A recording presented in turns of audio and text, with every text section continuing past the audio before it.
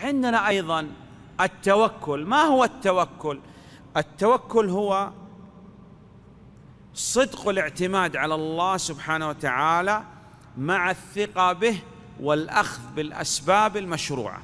كم شيء؟ ثلاثة أشياء. صادق واثق مئة بالمئة آخذا بالأسباب. هذا الأخ قال أريد أحفظ القرآن. متوكل؟ قال نعم. صادق قال مئة في المئة صادق. واثق قال لا أشك طرفة عين أن الله سبحانه وتعالى يسر لي حفظ القرآن. تأخذ بالأسباب؟ قال نعم في كل يوم أحفظ في كل يوم أراجع في كل يوم أعرض ما حفظت على الشيخ. هذا توكل.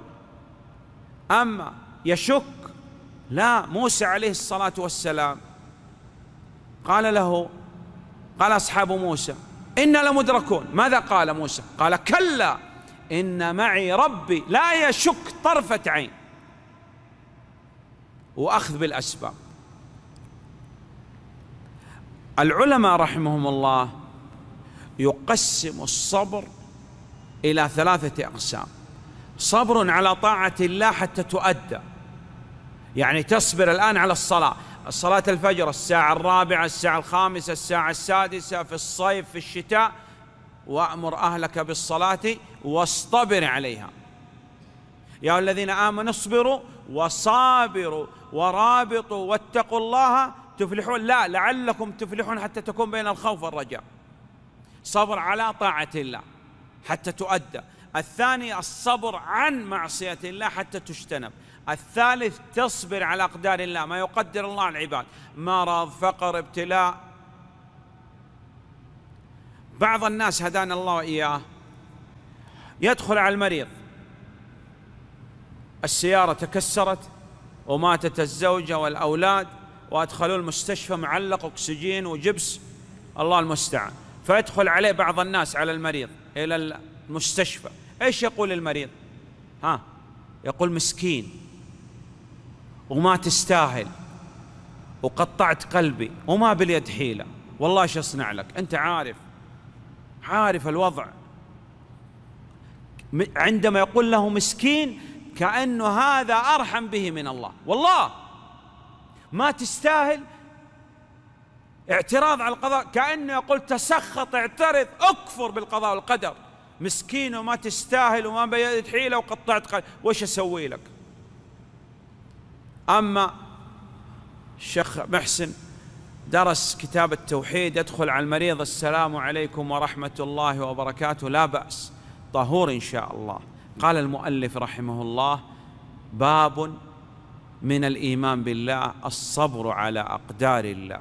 وقول الله تعالى ومن يؤمن بالله يهدي قلبه. قال علقمة رحمه الله هو الرجل تصيب المصيبة فيعلم أنها من عند الله فيرضى ويسلم. وأن الله إذا حب عبدا ابتلاه فمن رضي فله الرضا. هذا المريض يقول لمحسن كل يوم تعال ريحت قلبي. صحيح؟ جعلتني ايماني يزيد. إخواننا لابد من الإيمان بالقضاء القدر. كلمات لا تجوز. اعتراض على القضاء قدر مسكين وما تستاهل وما باليد حيلة. وليش أنا؟ إيش ليش أنا؟ ولماذا فلان وأنا لا؟ اعتراض بالقضاء القدر. من رضي فله الرضا من الله سبحانه وتعالى. اعلم أن ما أصابك لم يكن ليخطئك وما أخطأك لم يكن ليصيبك. ارضى وسلم لك الأجر عند الله. مشكلتنا يا إخواننا أننا نريد هذه الدنيا جنة. إحنا في الجنة؟ فايش إحنا أخوان ها؟ والله؟ كل الناس يبغى هذه جنة ما يبغاها دنيا. ما يبغى ابتلاء ما يبغى كذا ما يبغى صبر ما يبغى ك... سبحان الله.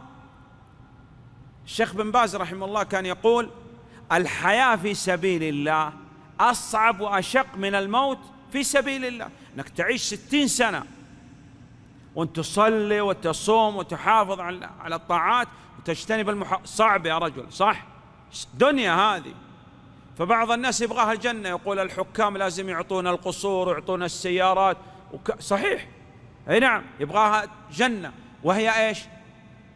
إيش؟ دنيا. دار عمل أو دار جزاء. ها؟ لا يريد كثير من الناس دار جزاء وهي ليست بدار جزاء. الله المستعان.